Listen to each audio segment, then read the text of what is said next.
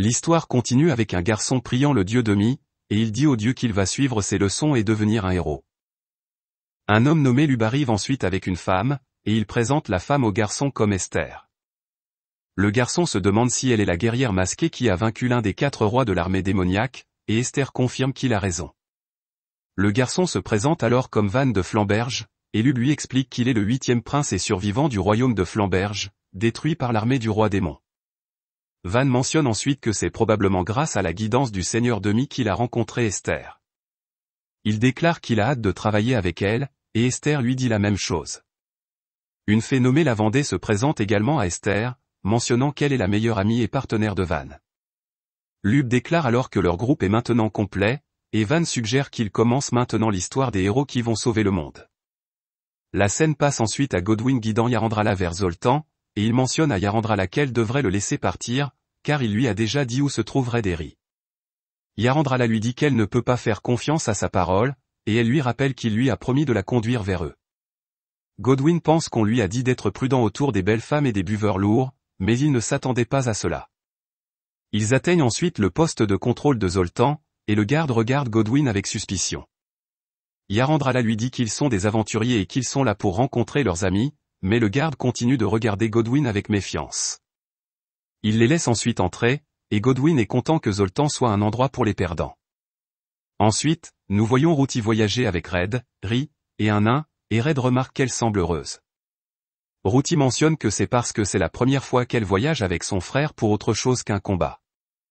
Elle dit que cela la rend heureuse, et Red est content d'entendre cela. Il explique ensuite qu'ils sont actuellement en voyage vers la chaîne de montagnes appelée le mur à la fin du monde, et c'est un voyage sans souci, sans bataille. La scène passe ensuite à tous prenant une pause, et Red sert du thé à tout le monde. Le nain avec eux mentionne qu'il ne s'attendait pas à ce que Red et les autres aillent jusqu'au mur à la fin du monde, que chaque voyageur craint, juste pour fabriquer une bague de fiançailles. Il affirme que Red est vraiment un gars téméraire, et Red lui dit qu'il veut vraiment le saphir bleu car il correspond à la couleur des yeux de riz. C'est une pierre rare, mais il est sûr que le golem de gemme l'a. Il veut négocier avec lui et le convaincre de lui donner la gemme. Il mentionne que c'est un cadeau unique dans une vie, et il ne veut pas céder. Cela rend Ri embarrassé, et le nain mentionne qu'il le rende jaloux. Red affirme que Mogrim est également venu ici pour sa femme, et Routy lui demande pourquoi il est là. Mogrim se souvient qu'il ne lui a toujours pas parlé de cela, et il mentionne qu'il va avoir un bébé. Le médecin a dit que sa femme pourrait avoir une césarienne, et il veut faire tout ce qu'il peut pour sa femme, mais en tant que forgeron, tout ce qu'il peut faire est de manier son marteau. Alors, il a décidé de fabriquer un couteau en cristal de terre, et Routy se demande pourquoi du cristal de terre. Mogrim mentionne que c'est parce que sa lame est tristement célèbre pour être assez tranchante pour vous faire oublier que vous avez été coupé, et cela devrait minimiser la charge sur le corps. Red affirme que ce cristal est difficile à trouver, mais le géant de gemme pourrait l'avoir. Mogrim remercie Red de lui permettre de les rejoindre dans ce voyage, et Routy affirme qu'ils sont tous venus ici pour quelqu'un. Elle mentionne que ses raisons sont les mêmes, et elle affirme qu'à présent son grand frère a fait des aventures pour elle, mais elle n'a pas fait une seule aventure pour lui, alors cette fois, elle veut être utile à son grand frère. Ils poursuivent ensuite leur voyage et rencontrent un groupe de gobelins devant eux. Ils combattent les gobelins et parviennent à les vaincre facilement. Routy en tue la plupart à main nue, et Mogrim est surpris de voir cela.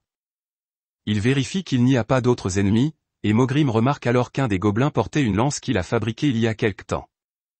Red pense que le propriétaire de la lance pourrait être devenu une victime des gobelins, et il pense que ce monde est plein de violence.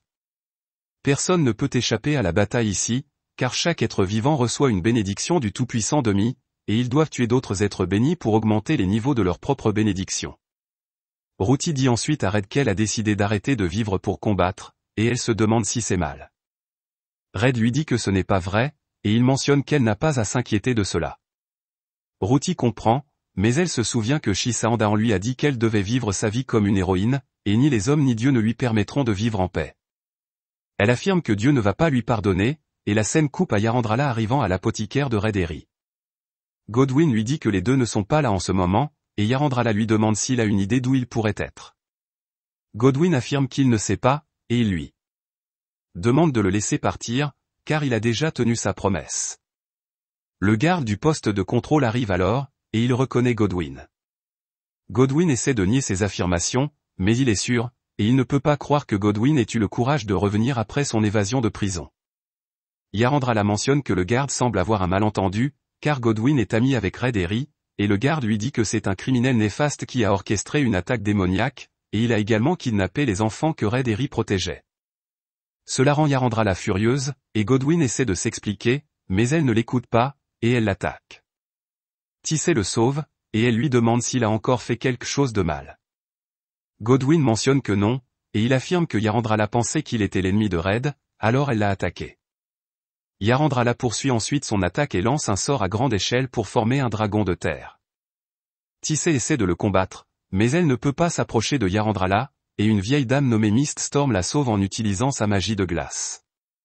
Godwin explique qu'elle est l'ancienne mère de Zoltan, et Mist Storm affirme que sa magie n'est pas suffisante pour arrêter cette chose. Tissé lui demande ensuite de la couvrir pendant qu'elle attaque, et les deux travaillent ensemble pour combattre Yarandrala, mais Yarandrala parvient toujours à capturer Tissé. Elle lui demande qui elle est, et Tissé mentionne qu'elle est une amie de Rederi. Yarandrala ne la croit pas, et Tissé mentionne qu'elle devrait les rencontrer et leur demander en personne si c'est le cas. Elle affirme qu'ils sont partis pour le mur à la fin du monde ce matin, et Yarandrala se demande pourquoi ils iraient là-bas. Tissé mentionne qu'ils sont partis chercher des gemmes pour leur bague de mariage, et cela excite Yarandrala. Elle laisse partir Tissé, et elle pense que Red sont aussi proches que jamais. Miststorm demande ensuite à Yarandrala de régler ce désordre avant de partir, et la scène coupe à Red et les autres dans un village de certains monstres appelés les Hugues. Mogrim leur demande s'ils sont en sécurité ici, car les Hugues sont des monstres mangeurs d'hommes, et Red lui dit qu'ils sont en sécurité, car il connaît leur aîné. Ri mentionne que Red a une étrange connexion avec eux, et Red affirme que les Hugues sont familiers avec le mur à la fin du monde, alors ils doivent savoir où vit le géant de Gem. L'aîné des Hugues rencontre ensuite Red, et Red lui donne du jambon fait maison qu'il a apporté en souvenir. L'aîné le remercie pour cela et se demande ce qui amène Red ici. Red lui dit qu'ils sont là pour voir le géant de Gem, et il mentionne qu'il se demandait s'il pouvait lui dire où se trouve leur colonie. L'aîné mentionne que cela ne le dérange pas, mais Red devrait faire attention car les géants de Gem agissent étrangement ces derniers temps. Ils semblent tous agités, et Red comprend.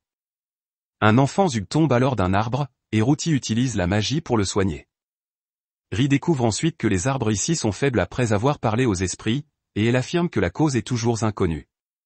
Elle demande à Red s'il peut fabriquer un complément nutritionnel pour eux, et Red accepte de le faire.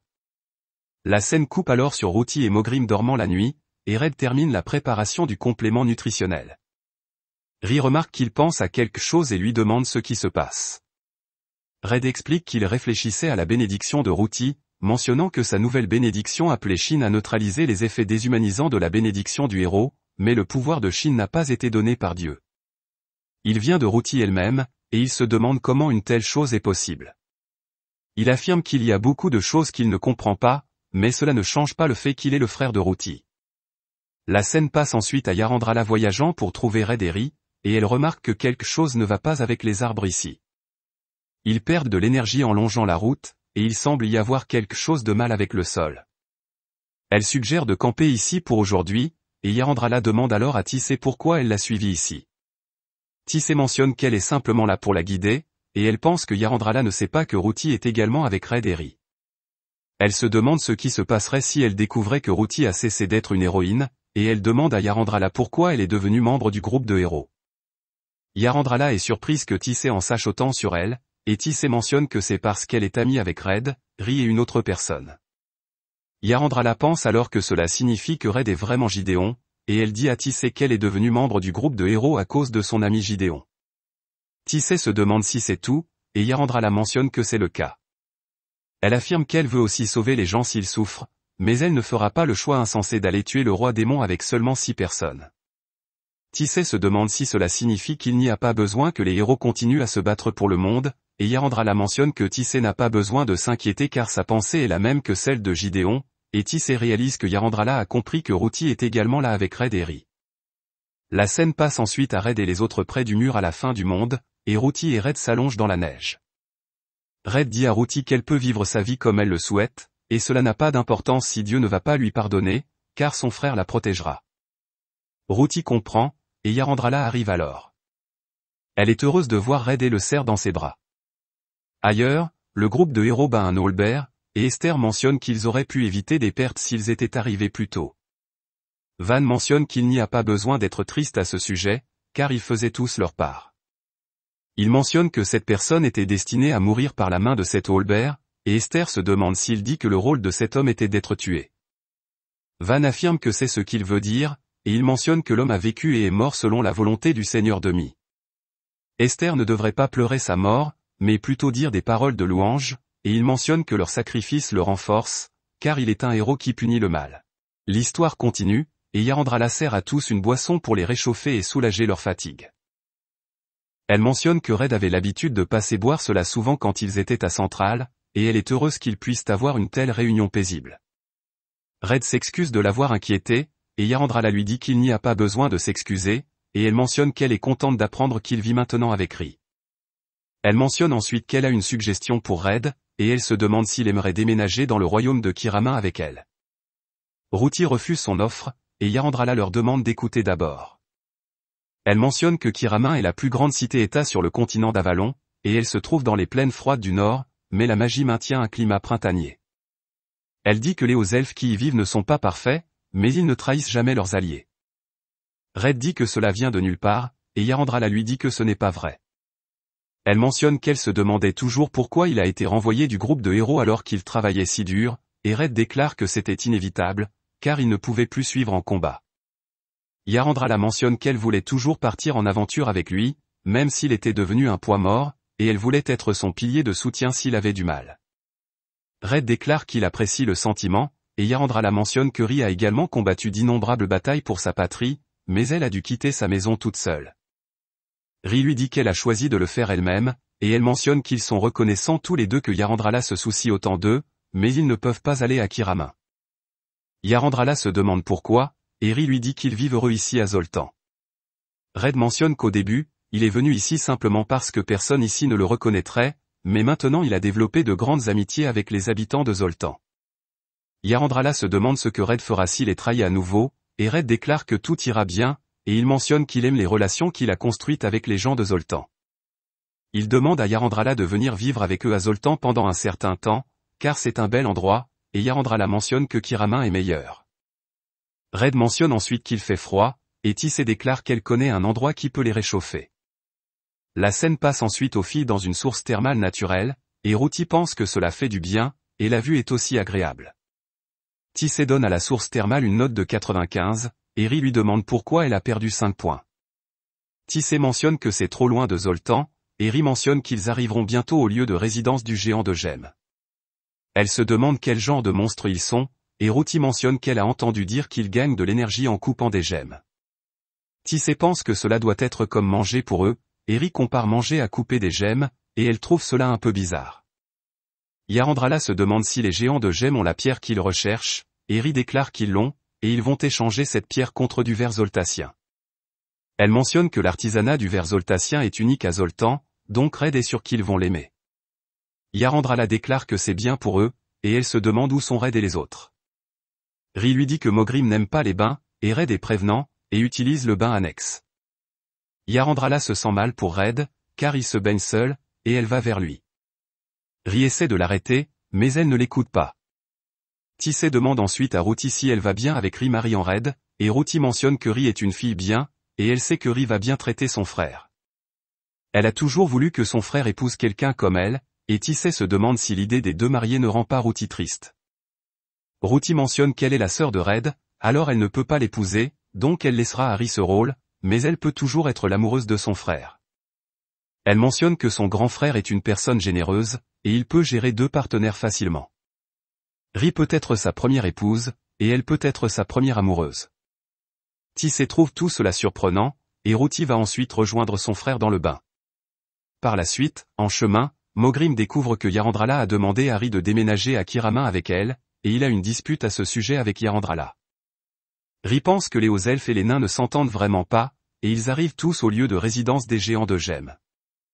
Il remarque que quelque chose ne va pas avec les géants de Gem, et la scène coupe à la réunion avec leur chef. Le chef leur demande de se sentir chez eux, et Red lui dit qu'ils sont là pour échanger leurs gemmes. Il leur montre un verre zoltacien, et les géants de Gem aiment vraiment le verre. Le chef mentionne que c'est précieux pour eux en tant qu'espèce, mais ils ne peuvent pas faire cet échange en ce moment. Ils déclarent qu'ils n'ont pas de gemmes à offrir en échange, et un enfant géant de gemmes s'approche de Red après avoir vu le verre. Il aime vraiment le verre, et Red le lui donne. L'enfant le prend, et il coupe le verre. Red dit alors au chef des géants qu'il a plus de verre avec lui. Il mentionne que ce n'est pas grand-chose, mais ils devraient le partager entre eux, et il leur demande de ne pas s'inquiéter de la compensation. Il mentionne que le chef vient de lui dire qu'ils n'ont pas de gemmes, et si cela continue, ils vont mourir de faim.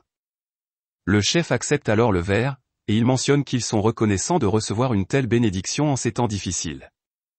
Il jure l'amitié de sa tribu envers tous pour cela, et tous les géants de gemmes coupent alors du verre.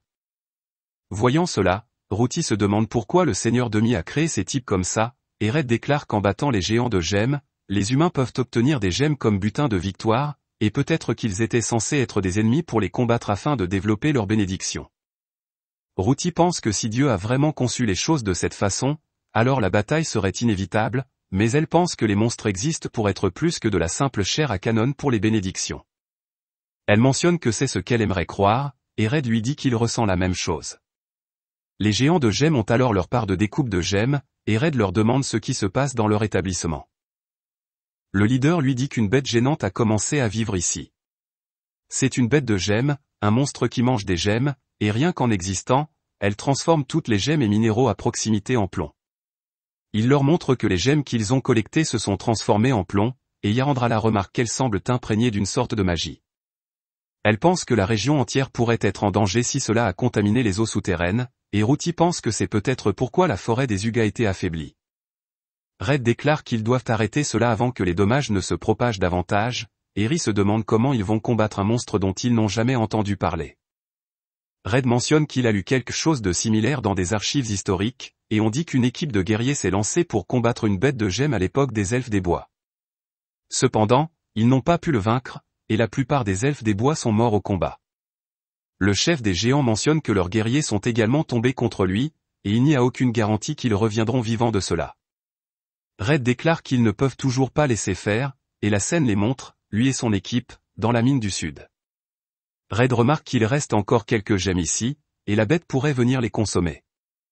Il mentionne que cette chose est grande, mais il y a plein d'endroits où se cacher ici, et il a aussi apporté des potions. Routissant alors quelque chose, et elle demande à tout le monde de se baisser, et la bête de gemme les attaque par-dessous. Il remarque que la montagne sur laquelle l'attaque a atterri s'est transformée en plomb, et la bête de gemme surgit alors du sol. Elle tente de les attaquer avec une autre attaque de rayon, et Routy utilise son bouclier magique pour bloquer l'attaque, mais l'attaque détruit son bouclier.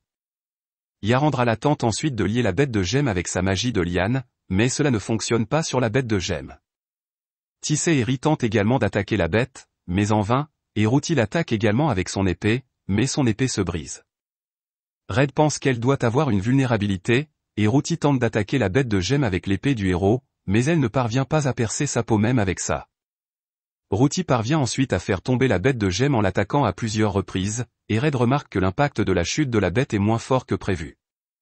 Il pense que la bête doit soutenir son poids avec de la magie, et Routy tente à nouveau d'attaquer la bête, mais celle-ci utilise un sort de bouclier sacré pour se défendre. Elle utilise également le sort de liane de Yarandrala pour attaquer les autres, et bientôt, il réalise que la bête peut copier la magie des autres. Elle utilise ensuite à la fois la magie du feu et de l'eau, et Routy défend tout le monde avec son bouclier. Red se demande ce qui se passe avec la bénédiction de la bête, et Routy se demande si la bête a plusieurs bénédictions. Red pense que cela expliquerait tout, et la bête tente ensuite de les attaquer avec un sort de feu, mais Routy reflète le sort sur la bête, mais même cela n'est pas suffisant pour la mettre hors d'état de nuire. Ri demande à Red ce qu'ils vont faire maintenant, et Red mentionne que réduire sa bénédiction pourrait aider. Il mentionne qu'ils peuvent le faire en utilisant cette médecine des elfes des bois, et il déclare que faire boire ça à la bête ne sera pas facile. Yarandra la mentionne qu'elle peut arrêter la bête, et Red lui donne une potion de mana. Yarandrala la boit et utilise un dragon en bois pour lier la bête. La bête parvient à rompre le sort après un moment, mais cela donne à Ri une ouverture pour lancer la bouteille dans la bouche de la bête. La bouteille se casse, et cela réduit le niveau de la bénédiction de la bête, et elle tombe parce qu'elle ne peut plus supporter son propre poids. Routy défait ensuite la bête d'un coup de poing, et cela ramène tous les minéraux et gemmes que la bête a transformés en plomb à la normale. Routy remarque alors quelque chose d'écrit sur le corps de la bête, et la scène coupe à Red et aux autres rentrant chez eux. On voit que Mogrim a un cristal de terre avec lui, et il mentionne qu'il ne s'attendait pas à trouver cela sur le corps de la bête. Red est content que Mogrim ait obtenu ce qu'il est venu chercher, et Mogrim mentionne que l'accouchement devrait bien se passer avec cela. On découvre que Red n'a pas trouvé le cristal qu'il cherchait, et ils arrivent ensuite à Zoltan. Yarandrala demande à Red et Riss s'ils sont vraiment satisfaits de leur vie à Zoltan, et ils lui disent que oui. Red mentionne qu'il prévoit de continuer à vivre une vie parfaitement normale avec Ri, et pour la première fois de sa vie, il vit pour lui-même. Yarandrala déclare que c'est bien de le savoir, et elle mentionne qu'elle a décidé d'essayer de vivre à Zoltan pendant un certain temps. Ri est surprise d'entendre cela, et Yarandrala mentionne qu'elle s'est intéressée à l'endroit qui leur procure tant de joie. Red lui dit qu'il serait ravi de la voir, et Yarandrala demande à Ruti si cela lui convient. Ruti mentionne que c'est bien, et Red déclare qu'il devrait rassembler tout le monde pour une fête de bienvenue. La scène coupe ensuite à Van disant à Lub qu'il est maintenant assez fort, et il mentionne qu'il aimerait rejoindre le front et combattre l'armée du roi démon. Lub lui demande de ne pas précipiter les choses, et il mentionne qu'il a préparé un nouveau champ de bataille pour Van. Il demande à Van de partir avec Esther pour vaincre ce monstre, et un messager arrive alors. Il informe Lub qu'on a repéré l'ancien dirigeable du roi démon, et il a été vu se dirigeant vers Zoltan. Lub déclare que Kigit devrait être de retour de sa mission de reconnaissance, et il demande au messager de le faire partir pour Zoltan. Van tente de demander à Lub de le laisser partir aussi, mais Esther lui dit que renforcer sa force pour devenir un héros et monter en niveau dans sa bénédiction passe en premier. Lub est d'accord avec cela, et il demande à Van de partir chasser des monstres avec Esther. Il mentionne qu'il fera enquêter Zoltan de fond en comble, et il élaborera également un nouveau plan pour Van, et Van le remercie. La scène passe ensuite à Esther rencontrant Albert, et nous découvrons quelle est en réalité Théodora. Elle dit à Albert que Lub et les autres ont découvert le dirigeable du roi démon, et elle déclare que ce serait mauvais si Van se dirigeait vers Zoltan et rencontrait Routy. Elle mentionne qu'ils devront éviter cela, et elle demande à Albert de se rendre à Zoltan pour elle et d'informer Red de cela. Albert demande alors à Théodora si le nouveau héros est authentique, et Théodora mentionne que la sainte l'a évalué, et les dirigeants de l'église l'ont reconnu en tant que tel, donc il devrait l'être, mais il n'est rien comme Routy. Elle mentionne qu'ils ne peuvent que attendre et voir, et Albert déclare qu'il fera ce qu'il peut pour aider. La scène coupe ensuite à Nao dans le magasin de Red pour acheter sa nouvelle concoction, et elle se demande s'il s'agit de l'essence de Dragon's Room. Nao mentionne que oui, et nous découvrons que c'est une boisson énergisante. Red déclare que Nao ne le visite pas aussitôt tous les jours, et Nao déclare qu'aujourd'hui est le jour du festival et qu'elle veut en profiter au maximum. Red lui vend la concoction, et il ferme le magasin. Il se prépare ensuite et demande à Ri si elle est prête. Ri descend, et elle demande à Red comment elle est habillée. Red mentionne qu'elle a l'air super, et elle déclare que Red a aussi l'air bien. Ri lui demande alors s'il a ce que Zeph lui a demandé, et Red déclare que oui, et il quitte ensuite la maison. On voit que les rues de la ville sont remplies de boutiques en raison du festival, et Red explique qu'aujourd'hui est le festival du solstice du cavalier de Drake et de la Sainte Licinius, basé sur une légende avalonienne. Il remarque ensuite que Gonz et Tanta sont en train de manger et de boire, et Gonz leur demande s'ils s'amusent. Red mentionne que Gonz semble être de bonne humeur, et Gonz déclare que c'est un festival, et il a le jour de congé. Il mentionne qu'il prendra aussi congé demain pour se remettre de sa gueule de bois, et Tanta pense que c'est génial. Red pense qu'à ce rythme, Tanta va devenir bon à rien, et Red dit à Tanta qu'il retournera travailler demain. Tanta mentionne qu'il devrait simplement prendre la journée de congé, et il leur montre une performance qui se déroule dans les rues. Voyant cela, Ri pense que le festival est célébré différemment ici qu'à Logervia, et elle mentionne que c'était plus formel chez elle. Elle déclare que l'objectif est le même, et c'est le cavalier de Drake et la sainte qui repousse le démon de l'hiver, mais c'est génial comment différentes régions le font différemment.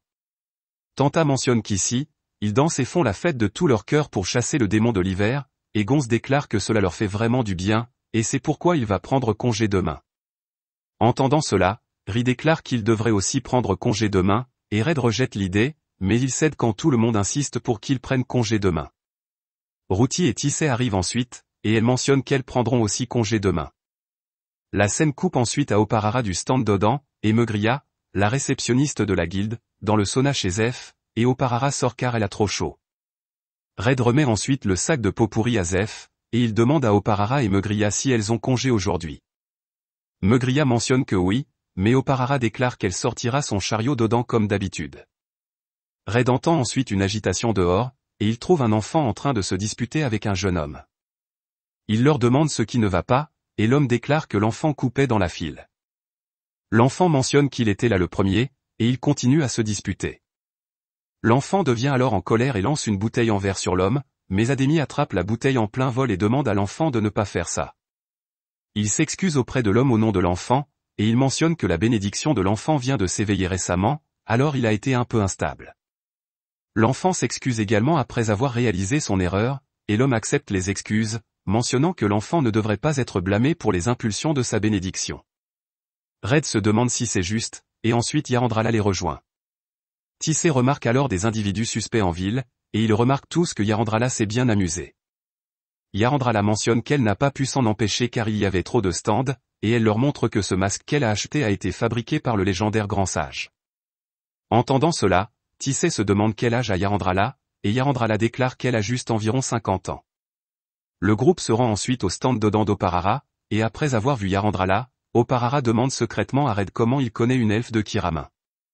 Red se demande ce qu'elle veut dire, et Oparara explique que les elfes se réfèrent les uns aux autres par le nom du lieu où ils sont nés. Elle mentionne qu'elle est une elfe de Zoltan, et elle déclare que même parmi les hauts elfes, les elfes de Kiramin sont spéciaux. Elle se demande comment elle est censée parler à une elfe de Kiramin, et Yarandrala dit à Oparara qu'elle peut être de Kiramin, mais cela ne signifie rien. Routi déclare que Yarandrala est juste une autre de leurs amis, et Yarandrala se demande s'ils peuvent simplement commander de l'Odan. Oparara prend ensuite la commande de tout le monde, et rit à une longue liste de plats pour elle-même.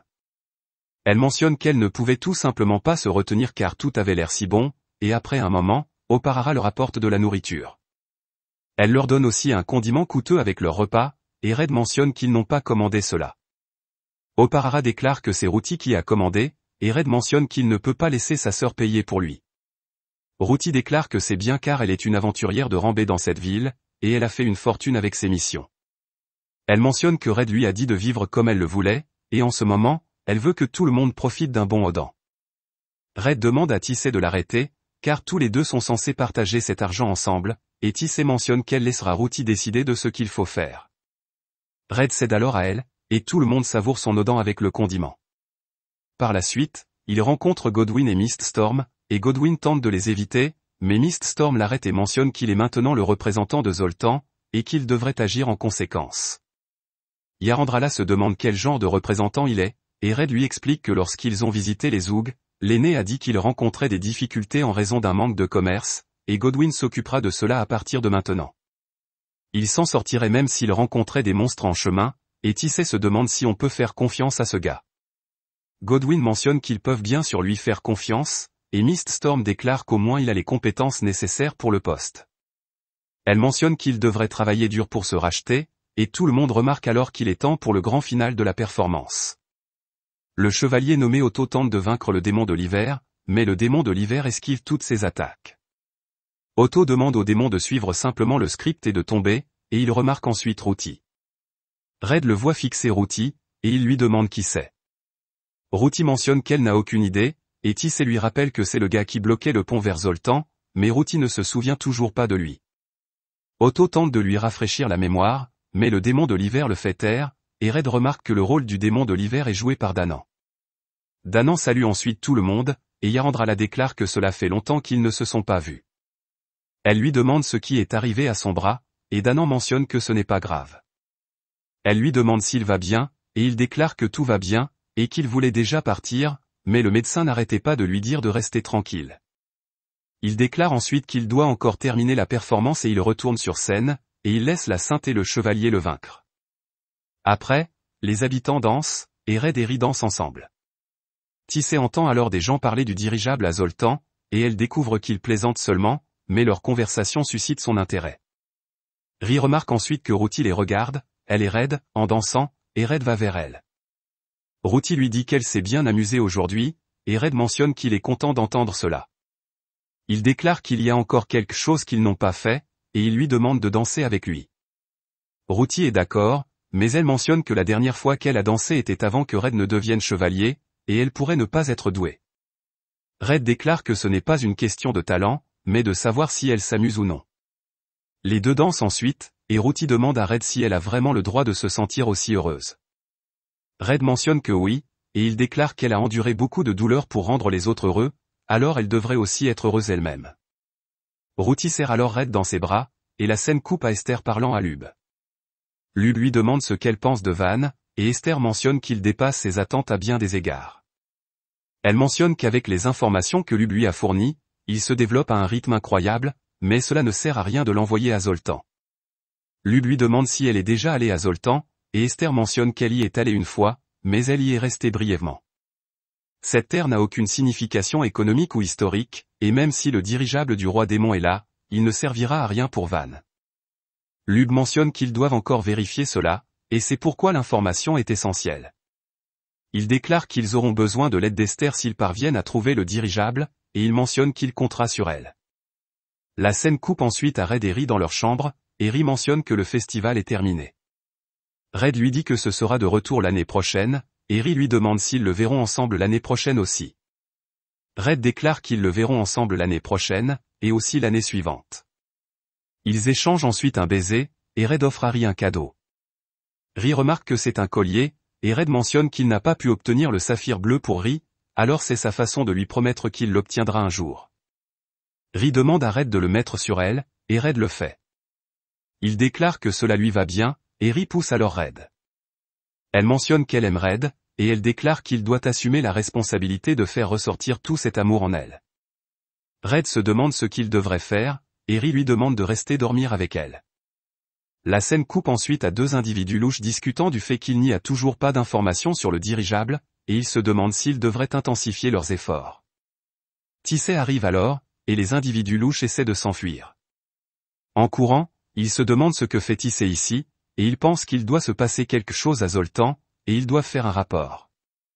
Il se retrouve ensuite pris dans une toile tendue par Emer. Crowley Wally, et Tissé les accule, mais quelqu'un coupe les toiles, et ils parviennent à s'échapper. La personne responsable de la coupe d'étoiles se révèle ensuite, et il disparaît après avoir distrait Tissé. La scène coupe ensuite aux personnes louches travaillant pour Lub cherchant le dirigeable, et Kigit, la personne qui a arrêté Tissé plus tôt, demande aux laquais de fouiller le navire. Les laquais mentionnent qu'ils ne pourront rien trouver dans l'obscurité, mais Kigit insiste toujours, et les laquais comprennent. L'un d'eux demande alors à Kigit de quoi il se méfie, car il a même abandonné le repère qu'ils avaient aménagé, et Kigit mentionne qu'il a remarqué une araignée qui se promenait dans le repère. La scène coupe ensuite à Routy qui se réveille de son sommeil et pense que dormir et se réveiller le matin est l'une des petites joies de la vie. Elle fait ensuite quelques étirements du matin, puis nettoie sa maison.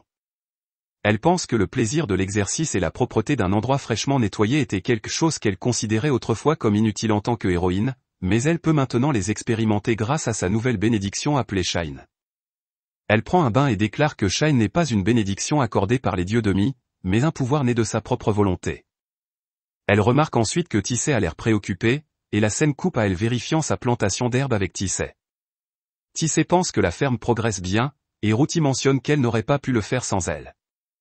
Tissé déclare qu'elle ne sait même pas si elle est utile, car elle n'a aucune expérience dans la culture des herbes, et Routy lui dit que deux têtes valent toujours mieux qu'une. Tissé déclare alors qu'elle ne s'attendait pas à ce que Routy cultive des herbes, et Routy mentionne que faire pousser des herbes sera son travail principal. Tissé se demande si elle fait cela pour aider Red, et Routy déclare que c'est en grande partie la raison, mais elle veut juste faire quelque chose qui ne nécessite pas sa force de combat. Tissé pense que c'est merveilleux, et Routy essaie de lui parler de la nuit précédente, mais elle évite le sujet. Tissé remarque ensuite qu'une des herbes ne va pas bien, et elle demande à Monsieur Crowley Wally s'il peut dire ce qui ne va pas avec elle. Crowley Wally dit à Tissé que le sol est glacial, et Routy se demande pourquoi. Tissé mentionne qu'il ne dispose pas des connaissances nécessaires pour résoudre cela, et ensuite il demande à Red de jeter un coup d'œil. Il remarque que du moule froid a poussé dans le sol et explique que le moule froid absorbe la chaleur de tout ce qui est proche. Il déclare que seules d'énormes colonies d'entre posent problème pour les aventuriers, mais dans les fermes, même une trace peut causer une maladie. Il mentionne que puisque Routy l'a remarqué tôt et est venu vers lui, il pourrait peut-être arranger cela.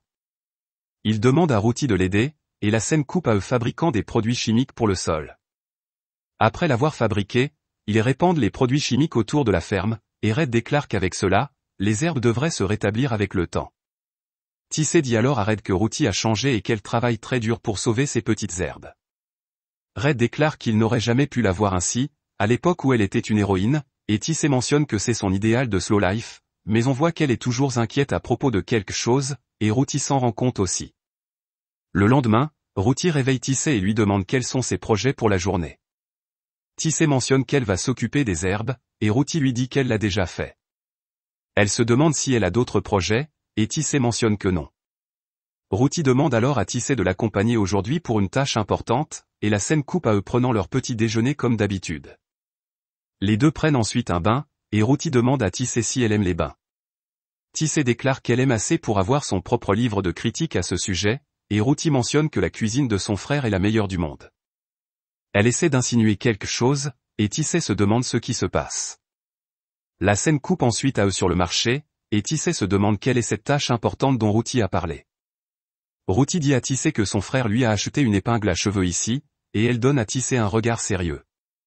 Tissé se demande si elle lui dit de rester sur ses gardes car c'est une scène de crime, et un Drake en colère vient alors vers elle. Routy l'arrête facilement et le maîtrise.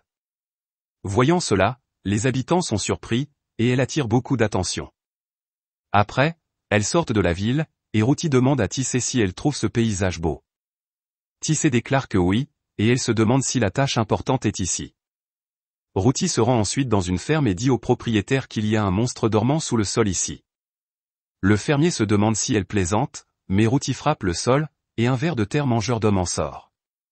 Cela fait paniquer le fermier, mais Routy le fend en deux d'un seul coup. Le fermier se demande alors si elle est Routy, la meilleure aventurière de Zoltan, et Routy mentionne que c'était juste un coup normal que n'importe qui aurait pu exécuter. Tissé lui dit que fendre en deux un ver de terre mangeur d'homme avec rien d'autre que ses mains ne passera pas inaperçu, et Routy est surprise d'entendre cela. La scène coupe ensuite à elle au théâtre, et Tissé se demande ce qui s'est passé avec la tâche. Routy lui dit que l'actrice principale de cette pièce est le sujet de discussion en ce moment, et Tissé remarque que c'est l'histoire d'un chevalier et d'un bandit tombant amoureux de la même femme. Routy se dirige ensuite vers la scène, et Tissé se demande ce qu'elle fait. Elle dit au chevalier que son épée est maudite et qu'il devrait s'en débarrasser. Le chevalier déclare qu'il ne va pas s'en débarrasser, car son jeu d'acteur s'est considérablement amélioré depuis qu'il l'a eu entre les mains. La malédiction prend ensuite le chevalier, et Routy le combat, les acteurs faisant semblant que tout cela fait partie de la pièce. Voyant cela, Tissé pense que Routy attire l'attention comme jamais auparavant, et après cela, le public ne l'oubliera pas de sitôt. La scène coupe ensuite à elle prenant de l'odant au stand d'Oparara, et Tissé mentionne qu'elle a entendu dire qu'après l'incident d'aujourd'hui, la pièce passe à un scénario mettant en vedette l'aventurière Routy.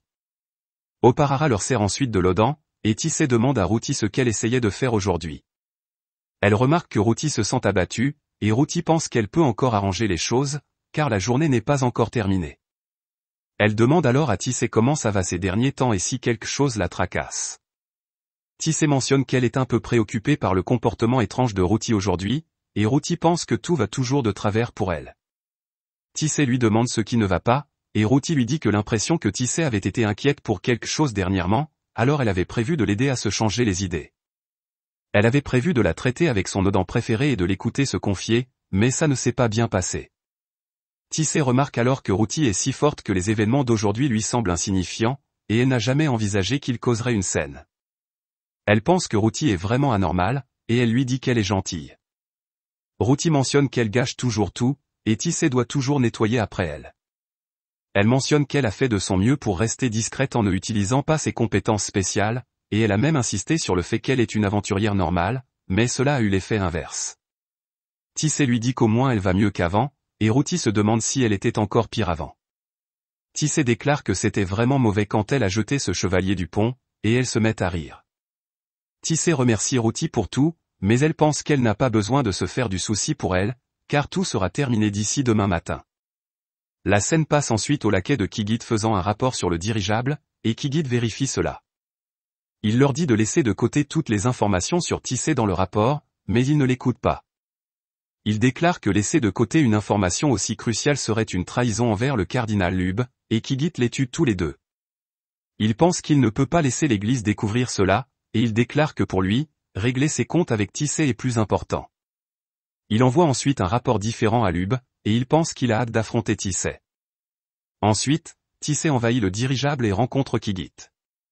Kigit mentionne que voir Tissé comme ça lui rappelle leur jour d'entraînement avec leur maître, et Tissé lui dit que la guilde des assassins n'a qu'une façon de traiter les déserteurs. Elle espère que Kigit en est conscient, et Kigit mentionne qu'il aime la soif de sang dans ses yeux. Il pense que ce serait dommage de la tuer ici, et il lui demande de le rejoindre. Tissé lui demande alors ce qui est arrivé à ses alliés, et Kigit déclare qu'il les a tués, car ils essayaient de s'interposer dans son combat avec elle. Entendant cela, Tissé déclare qu'elle n'a maintenant aucune hésitation à le tuer, car la guilde n'apprécie pas la trahison, et Kigit mentionne que la seule chose qui manque à Tissé est la soif de meurtre d'un assassin. Il mentionne qu'il lui enseignera ce que signifie être un assassin, et il l'attaque. Tissé riposte, et elle parvient à blesser l'un de ses yeux. Kigit déclare qu'elle est meilleure que dans ses souvenirs, et il utilise ensuite des petites bombes pour attaquer le dirigeable. Il mentionne que Tissé ne peut pas les esquiver, car sinon le dirigeable sera détruit.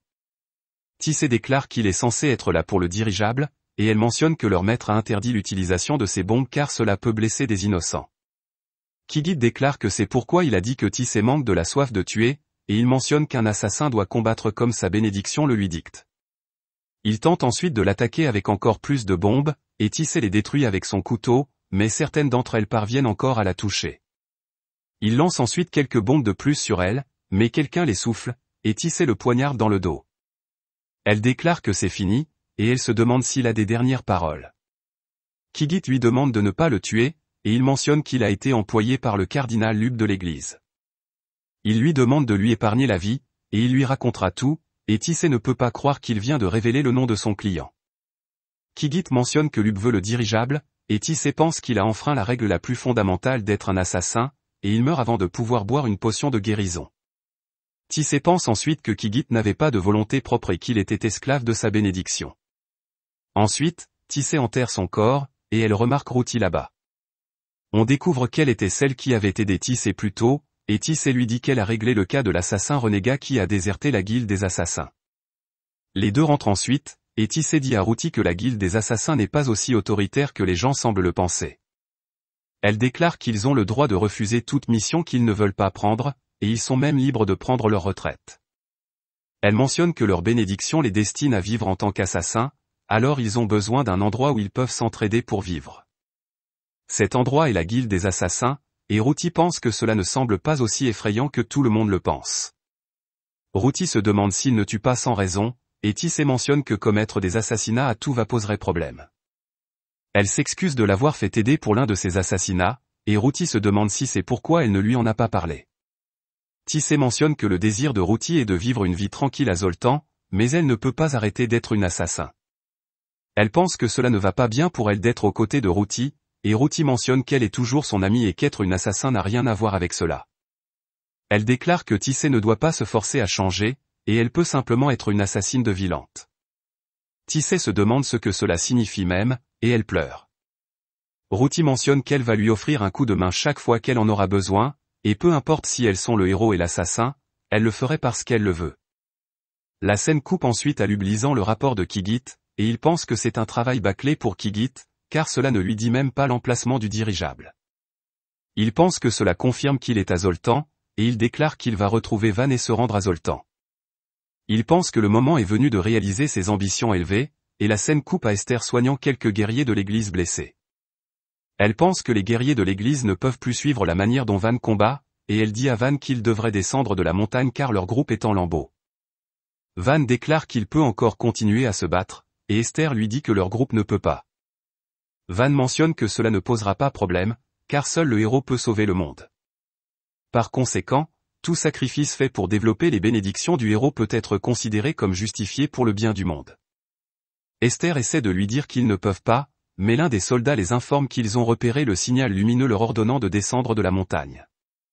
Van est heureux de voir cela, et il pense que son véritable aventure peut enfin commencer. Esther se demande s'il n'a rien à dire à ses camarades morts, et Van déclare qu'un héros ne doit pas regarder en arrière, il doit seulement marcher en avant.